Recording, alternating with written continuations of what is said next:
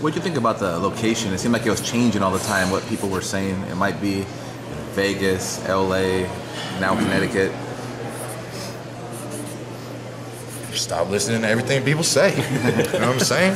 Wait for the official announcement. There will be an official announcement. We're here to officially announce everything. So, you know, I mean, patience is a virtue, man. People want to know, people want to go ahead and buy their tickets early, you know, but um, it just is what it is, man. Boxing is a very unique sport. It's different than all the other sports. You know what I'm saying?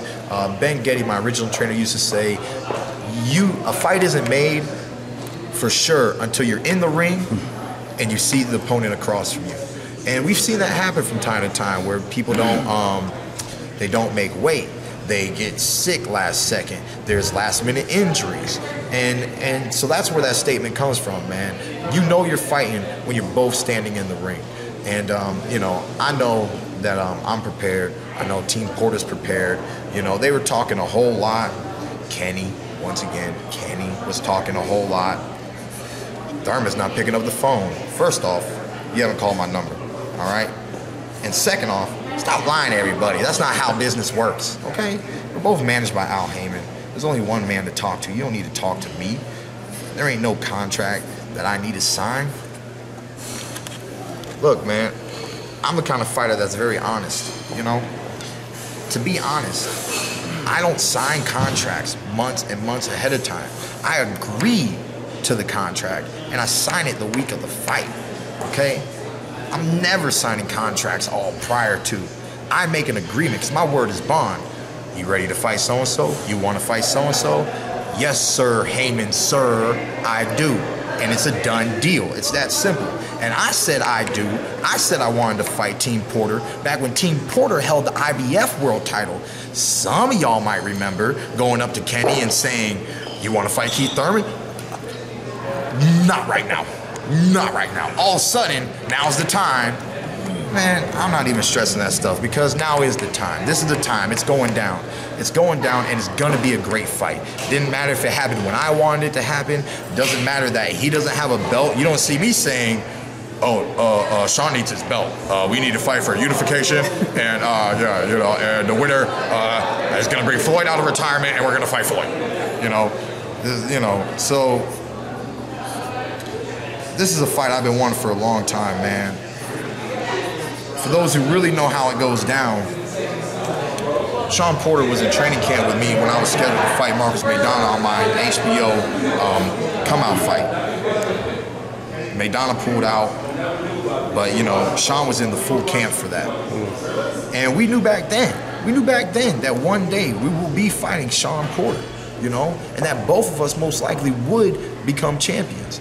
He did become a champion, and now is currently an ex-champion. I am champion and currently still champion. And we look forward to being, staying, remaining champion for a very long time, regardless of who they put in the ring in front of me, even my homeboy, Showtime Shawn Porter.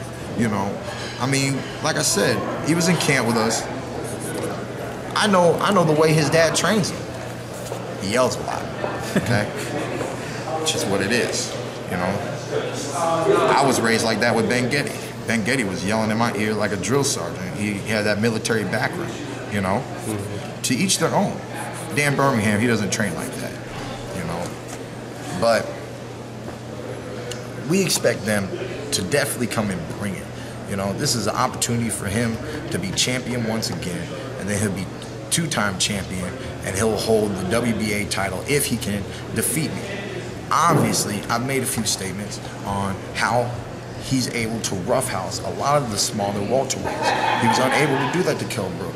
It would be very impressive if he can just bully me for 12 rounds. You know, we don't we don't see that happening.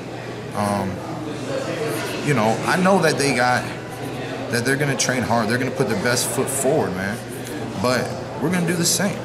And me, I'm a boxer. I'm a puncher. I'm a slugger. People uh, say I don't have an inside game, but that's only because I ain't shown it to you yet. Why is that? Didn't need to, man. The um, the outside work a lot of times, especially when I have the advantage, right? So when I fought Bundu, Bundu had short arms. When I fought um, when I fought Diego Chavez, Diego Chavez had short arms, you know, and um, Shawn Porter, you know, he's got shorter arms than me, so it's expected to see me on the outside. But just for fun, you know, I can't tell you which round's gonna go down, but there should be some inside work too. Does, does this uh, solidify who's the pound for pound number one welterweight? This Nah, fight? this this fight isn't gonna solidify anything.